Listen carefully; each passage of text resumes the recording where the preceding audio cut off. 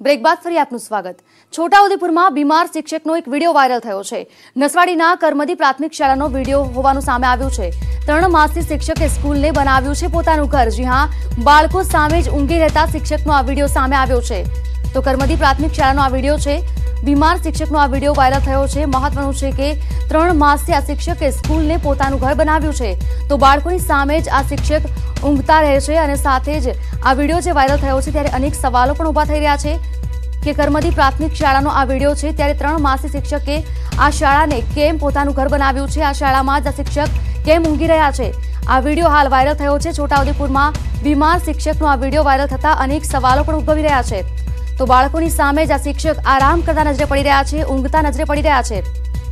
તો બાળકો અહીં ભણવા માટે આવે છે અને તેમના સામે જ આ શિક્ષક આરામ કરી રહ્યા છે. આપ જોઈ શકો છો કરમદી પ્રાથમિક શાળાનો આ વીડિયો છે.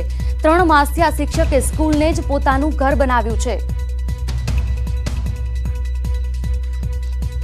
શિક્ષકે બીમારી અંગે રજૂઆત પણ કરી છે. બીમાર શિક્ષકનો વીડિયો હાલ વાયરલ થયો છે. અમે આપની સમક્ષ રાખી રહ્યા છીએ. ત્રણ માસથી સતત આ શિક્ષક શાળામાં જ પોતાનું ઘર બનાવીને વસવાટ કરી રહ્યા છે અને અહીં જ ઊંઘી રહ્યા છે.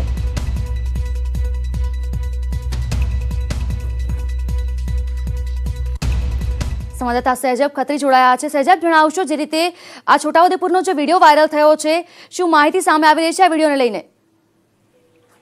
જી, જરા જે રીતના છોટાઉદેપુરના નસવાડી તાલુકાની અંદર આજે એક વાયરલ જે વીડિયો વાયરલ થયો છે, જે નસવાડી તાલુકાના કર્મચારી કર્મની પ્રાથમિક શાળાનો છે એકથી પાંચ ખંડની શાળા છે અને જે શાળાની અંદર બે ખંડ છે, જે બે ખંડની અંદર, એક ખંડની અંદર અભ્યાસ કરવામાં આવે છે અને એક ખંડની અંદર શિક્ષક જાતે ફેમિલી સાથે રહેતો હોય એવું જાણવા મળ્યું છે. પરંતુ ખાસ વાત એ છે કે આ શિક્ષકની જે તબિયત છે, તે તબિયત બિલકુલ નાસાદ છે. જે નાસાદને લઈને અને આ જે શિક્ષક અભ્યાસ કરી રહ્યા છે, જેનો જે બોલી નથી શકતા, જે ચાલી નથી શકતા, જે શિક્ષક જે અભ્યાસ કરી રહ્યા છે, તેને લઈને જે જે બાળકો પર જે અસર પડી રહી છે, બાળકોનો અભ્યાસ પર જે સવાલ ઉઠી રહ્યો છે. છોટાઉદેપુરના અનેક સવાલો ઉઠી રહ્યા છે કે જે રીતના આ જે શિક્ષક છે, જેમની તબિયત નથી સારી, પરંતુ જે તંત્ર છે, જે નિંદ્રામાં હોય એવું લાગી રહ્યું છે, જો આ શિક્ષકની આવી તબિયત હોવાના કારણે જો શ- શિક્ષણ અધિકારીને જો જાણ હોય તો છતાં જે શિક્ષક છે, ત્રણ માસથી અભ્યાસ કરાઈ રહ્યા છે, પરંતુ કોઈ જાતનું કોઈ પગલાં લેવાના નથી, જેને લઈને લસવાડી તાલુકામાં એક ભારે રોજ જોવા મળી રહ્યો છે. બિલકુલથી સહેજબ આભાર આપનો. બીમાર શિક્ષકનો વીડિયો વાયરલ થયો છે. મહત્વનું છે કે છેલ્લા ત્રણ મહિનાથી આ શિક્ષક અહીં પોતાનું ઘર હોય શાળામાં તે પ્રમાણે આરામ કરી રહ્યા છે. ત્યારે અનેક સવાલો પણ ઉદ્ભવી રહ્યા છે કે આ શિક્ષક અહીં શાળામાં કેમ રહે છે? બીમાર છે તો પોતાના ઘરે જઈને આરામ કેમ નથી કરતા? મહત્વનું છે કે આ શિક્ષક બોલી પણ નથી શકતા. બાળકોને ભણાવી પણ નથી શકતા, તો શાળામાં કેમ રહે છે? આવા અનેક સવાલો ઉદ્ભવી રહ્યા છે. અહીં નસવાડીના કરમદી પ્રાથમિક શાળાની સમગ્ર ઘટના છે. આ વીડિયો હાલ વાયરલ થઈ રહ્યો છે. છેલ્લા ત્રણ માસથી આ શિક્ષક અહીં જ આરામ કરે છે, બાળકો ભણવા માટે આવે છે અને અહીં ભણતા હોય છે. છતાં પણ તેમની સામે આ શિક્ષક આરામ કરી રહ્યા છે. તો બાળકોના ભણતર પર પણ અનેક સવાલો ઉદ્ભવી રહ્યા છે. નસવાડીના કરમદી પ્રાથમિક શાળાનો આ વીડિયો સામે આવ્યો છે. આપણે જણાવી દઈએ, આ બીમાર શિક્ષક છે. જેમને પોતાની બીમારીને લઈને રજૂઆત પણ કરી છે. શિક્ષકને પેરાલિસિસની અસર છે. તો મારી સાથે ડીઈઓ જોડાયા છે બારિયા સાહેબ.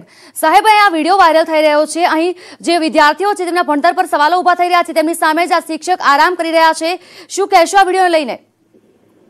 મેડમ, વીડિયો મારા ધ્યાનમાં હજી નથી આવ્યો. હું તપાસ કરાવી લઉં છું અને જો એ હકીકત હશે તો એ શિક્ષકને અમે ફરજિયાત રજા પર ઉતારી દઈશું.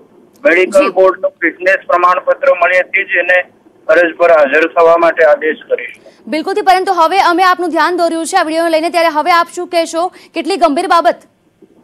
અહીં આ ખરેખર ગંભીર છે. જો કોઈ વ્યક્તિ ખરેખર બીમાર હોય કામ ન કરી શકે એવી સ્થિતિમાં હોય તો એ ફરજ પર ચાલુ રહે એ જાહેર હિત માટે યોગ્ય નથી. અમે એને ફરજિયાત રજા પર ઉતારી દઈએ છીએ. તો હકીકત આપ કહો છો એ હોય તો હું આજે જ એની તપાસ કરાવી લઉં છું. જી સાહેબ છેલ્લા ત્રણ મહિનાથી આ શિક્ષક અહીં આરામ કરી રહ્યા છે. આપ સુધી આ વાત કેમ ના પહોંચી? હું એ બાબતની પણ તપાસ કરું છું. ટીપીઓને પૂછું છું કે કેમ આ બાબત મારા ધ્યાન પર જિલ્લા કચેરી સુધી નથી પહોંચી ગયા. જી બિલકુલથી આભાર આપનો મારી સાથે જોડાવા બદલ.